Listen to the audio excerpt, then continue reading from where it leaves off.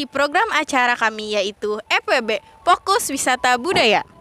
Hari ini saya akan membawa pemirsa dalam perjalanan menarik ke salah satu tempat yang wajib dikunjungi di daerah Jakarta Barat. Dengan keindahan dan sejarahnya yang khas dari setiap daerah di Indonesia, yaitu Museum Tekstil.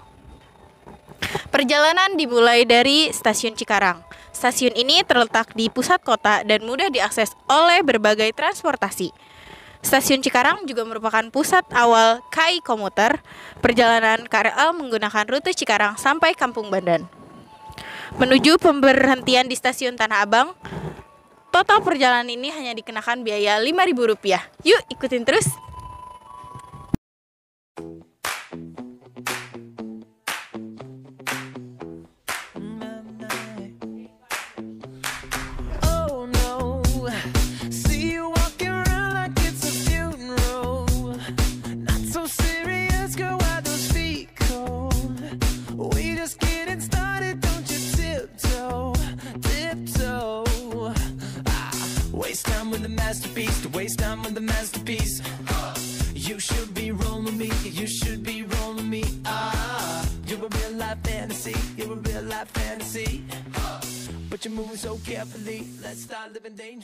Belum naik KRL, kita harus melihat rute yang akan dituju.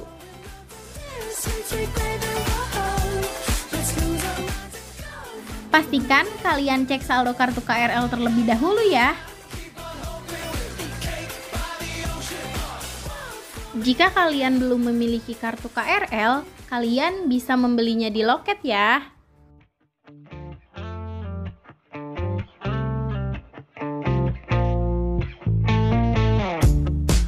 In action left me in LA. With her it's magic till she runs away.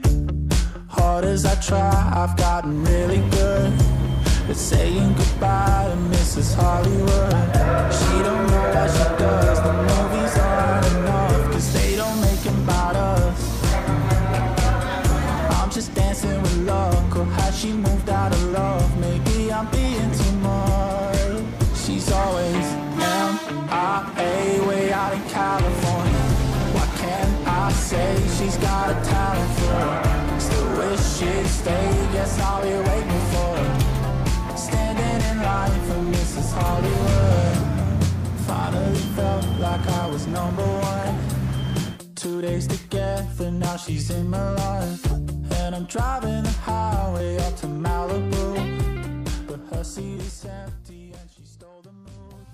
Setelah berhenti di stasiun Tanah Abang, lalu keluar dari stasiun Tanah Abang, kita hanya perlu menikmati perjalanan dengan berjalan kaki. Rute dari stasiun ke museum sangat mudah dijangkau. Dengan mengikuti jalan utama, Anda akan melewati beberapa persimpangan dan melihat tanda-tanda yang mengarahkan pemirsa ke museum tekstil. Jaraknya sekitar 600 meter dan dapat ditempuh dalam 7 menit dengan berjalan kaki untuk sampai ke lokasi.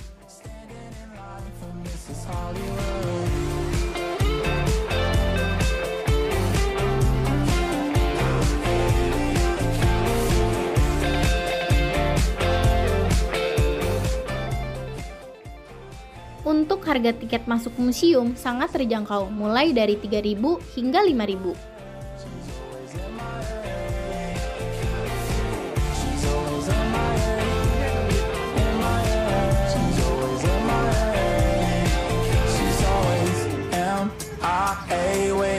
California. What can I say? She's got a talent for it. Still wish she'd stay. Guess I'll be waiting for her. Standing in line for Mrs. Hollywood. Halo pemirsa, kembali lagi bersama saya Nina Rosmala. Kali ini saya sudah berada di Museum Tekstil. Di sini saya akan menjadi pemandu sekaligus yang akan menemani kalian untuk menjelajahi setiap sudut museum ini. Bersiaplah untuk menyaksikan keseruan, beragam budaya, dan sejarah yang tak terlupakan. Yuk, ikutin terus!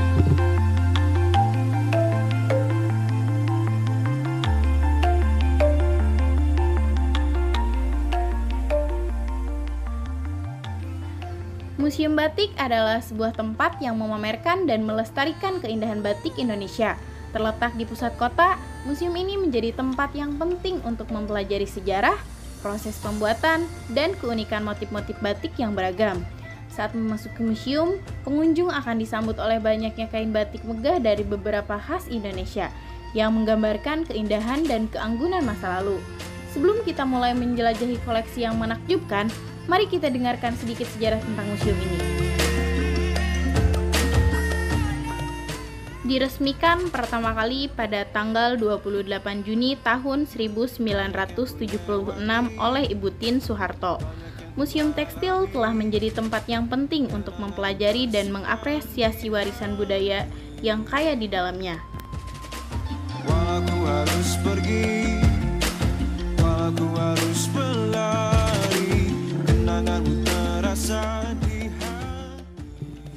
Nah, di sini terdapat berbagai koleksi kain batik dari berbagai daerah. Yuk kita lihat keindahannya. Let's go. Mulai melebu dalam hati ini Dan ku Pada tanggal 2 Oktober tahun 2010, setelah batik dianggap sebagai warisan kemanusiaan untuk budaya lisan dan budaya tak benda, diresmikanlah Galeri Batik Indonesia di Museum Tekstil yang bekerja sama dengan Yayasan Batik Indonesia dan menyajikan koleksi batik dari seluruh Indonesia.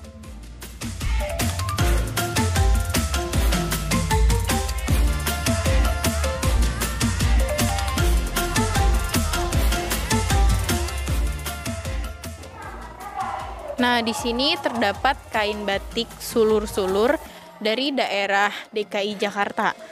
Ini merupakan koleksi museum tekstil sendiri. Ragam hias batik berupa sulur-sulur, daun, dan bunga yang saling bersambung dikenal dengan nama lunglungan. Latarnya dipenuhi dengan garis-garis mengikuti bentuk motif disebut omah garing. Batik Karta Satyawati sangat khas yang memadukan desain warna dan isen-isen yang menawan.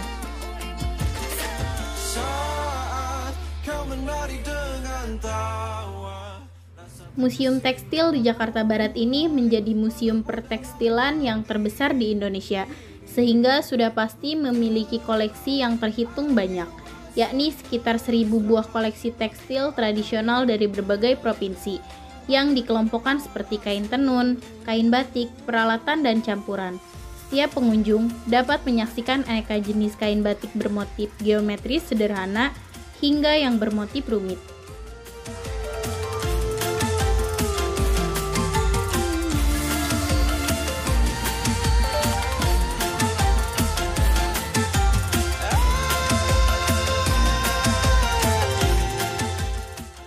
Di Museum Tekstil sendiri, selain banyaknya koleksi batik dari berbagai daerah, di sini juga terdapat kain dan baju dari berbagai daerah. Salah satunya itu ada dari Sumatera, Kalimantan, dan Sulawesi.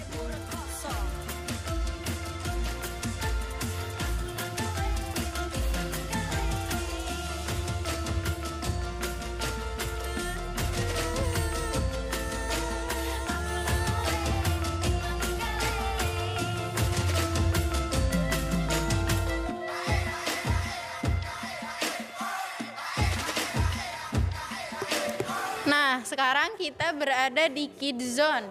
Yuk kita belajar di museum.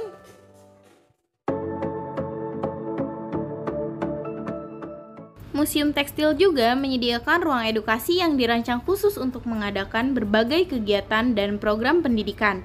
Di sini, di area Kids Zone, anak-anak dan remaja dapat belajar tentang sejarah dan motif batik dari berbagai suku daerah.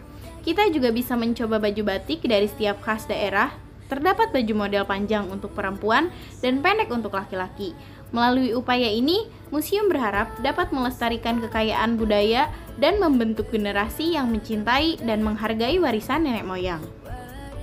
Setelah kita mengunjungi gedung pameran utama, sekarang saya sedang berada di Galeri Batik yang bertepatan di sebelah gedung pameran utama. Yuk kita masuk.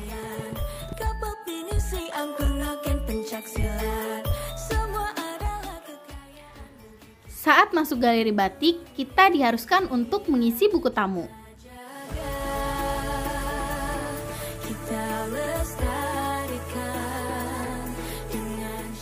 Ya sebelumnya Assalamualaikum Ibu. Perkenalkan nama saya Nina Rosmala dari kampus Universitas Singapura Bangsa. Di sini saya izin mewawancarai terkait eh, sedikit ingin tahu lebih dalam tentang Museum Tekstil ini sendiri ya. Ya, Eh, Sebelumnya dengan Ibu siapa? aku dengan Epi Nah, eh, Ibu kira-kira Ibu tuh udah berapa lama ya eh, jadi pengurus di Museum Tekstil ini sendiri? Nah, ibu itu sebenarnya dari Yayasan Batik Indonesia. Nah, Yayasan Batik Indonesia itu berada di Museum Tekstil karena kerjasamanya Museum Tekstil dengan Yayasan Batik Indonesia. Nah, ibu salah satu karyawan dari Yayasan Batik Indonesia. Ibu dulu, ibu di sini udah 10 tahun. Oh, udah 10 tahun. Udah lama banget berarti ya. Nah, eh, kira-kira ada berapa banyak sih kain batik yang ada di sini tuh? Kalau koleksi dari Yayasan Batik Indonesia itu ada sisa, ada 300 karena sebagian sudah disumbangkan ke museum Museum Batik Indonesia yang di Taman Mini. Iya. Jadi sisa dari sini ada 300. Yang di display itu ada 120 kain. Oh, jadi ada yang di Ketaman Mini Iya, juga kita ya. sumbangkan ke sana sebagian. Nah, eh, kira-kira apa yang kesan eh, para pengunjung dengan eh, sudah berkunjungnya ke museum ini? Amazing pasti. Oh. Apa yang mereka lihat di pasaran, Iya, iya. setengah yang ada mereka lihat di sini beda. Nah, eh, menurut Ibu adakah tantangan terbesar dalam menjaga atau memelihara koleksi ini sendiri? Kan kita nggak tahu ya, walaupun kita sudah naro larangan untuk menyentuh, kadang ada aja yang iseng nyentuh gitu. Kebetulan kalau di di sini di galeri batik ini kita displaynya itu udah taraf internasional, jadi nggak bisa disentuh dan nggak bisa difoto. Hmm. Iya, iya. Kalaupun bisa difoto pun itu pasti ada blitz, ada cahaya, dan ada pantulan kalian di kainnya Hmm. ya kan. Jadi kita udah nggak bisa, jadi kita aman. Oh, Untuk itu kita aman. Kalau untuk galeri batik ya, Hmm. Ini nggak masalah. Jadi eh, udah keamanannya tuh udah benar-benar ya udah internasional. Nah ibu segitu aja mungkin dari kita terima kasih untuk informasinya. Mohon maaf mengganggu waktunya ya bu. Ya assalamualaikum ibu. Salam.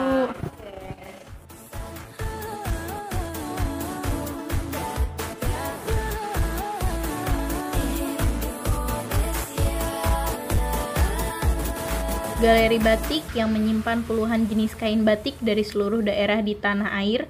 Ada batik dari Sumatera, Jawa Barat, Jawa Timur, Jawa Tengah, dan masih banyak lagi yang dikelompokkan dalam ruang berbeda. Selain kain, di sini juga terdapat satu ruang bernama interior yang memamerkan satu set lengkap tempat tidur beserta sofa dengan pelapis kain batik.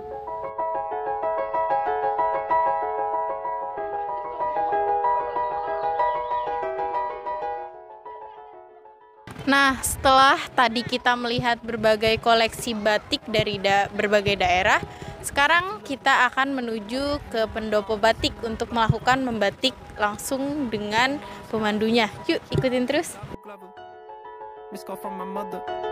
Like, where you at tonight? Got no alibi. I was all alone with the love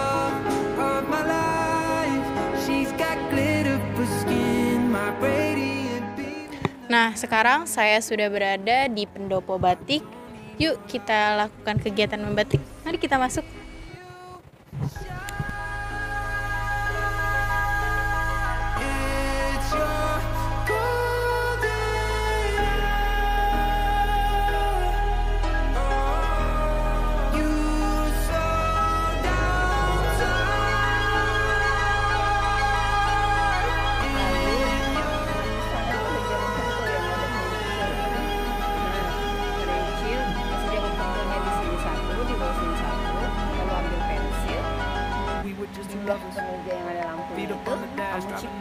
Ciplak, nowhere fast, ciplaknya running satu through the kali summer. garis aja ya, jangan bikin Radio double. on blast, make the moment last. She got solar power.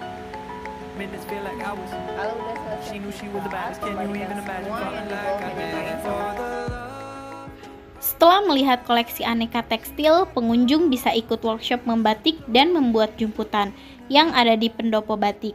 Adapun jumputan adalah pembuatan motif kain dengan metode ikat celup. Untuk biaya membatik dan jumputan dikenakan biaya penggantian material sebesar Rp40.000 dan kita akan dijelaskan tata cara membatik oleh penjaga di sana. Pengelola juga sudah menyediakan aneka pola batik, kain ukuran 40 x 40 cm, lilin dan segala hal yang diperlukan untuk membuat motif batik dari awal hingga akhir dan bisa dibawa pulang.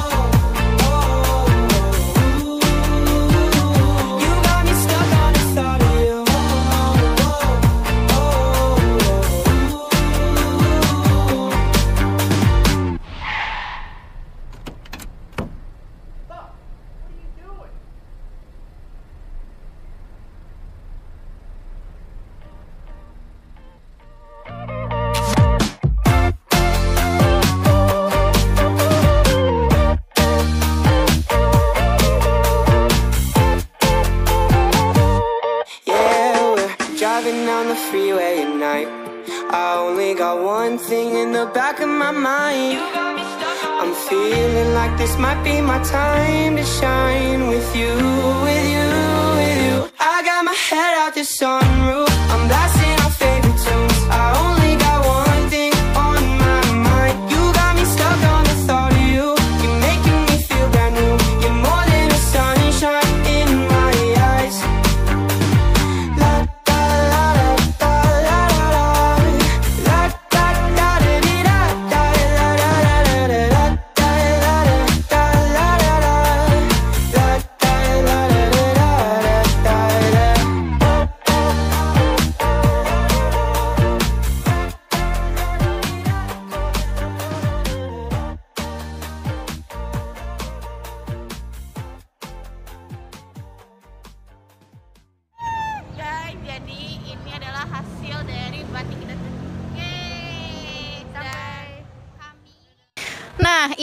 liputan kami hari ini tentang perjalanan menuju Museum Tekstil. Gimana nih? Seru kan? Kita bisa melihat banyak sekali koleksi batik dari setiap daerah dan kita juga bisa mengikuti kelas membatik. Saat kita meninggalkan Museum Tekstil, kita membawa pulang kenangan yang tak terlupakan tentang perjalanan ini. Kami berharap pemirsa terinspirasi untuk mengunjungi museum ini, menikmati keindahan batik Indonesia yang luar biasa. Terima kasih telah mengikuti liputan kami. Minggu depan kita bakal ajak kalian berwisata budaya ke mana lagi ya? Ikutin terus FWB Fokus Wisata Budaya. Saya Nina Rosmala, pamit undur diri. Wassalamualaikum warahmatullahi wabarakatuh.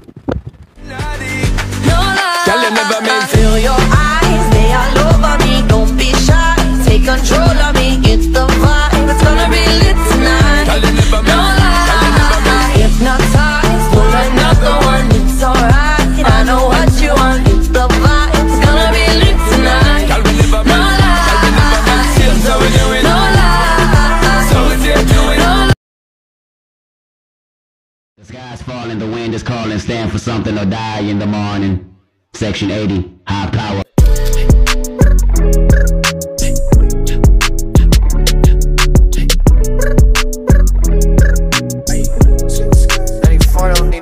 Roxanne, Roxanne, all she wanna do is party all night. Goddamn, Roxanne,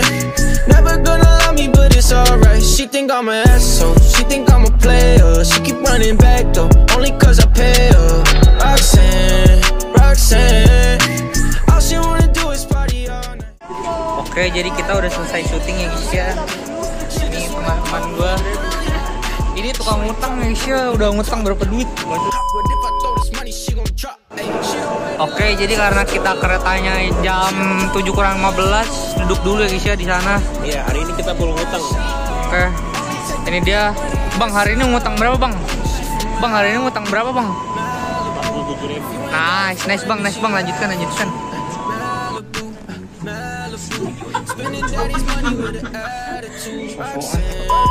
Manusia-manusia ini. Ini ngomongin frame nih Hana nih. Oke kali ini kita lagi istirahat ya guys ya. Sampai jalan.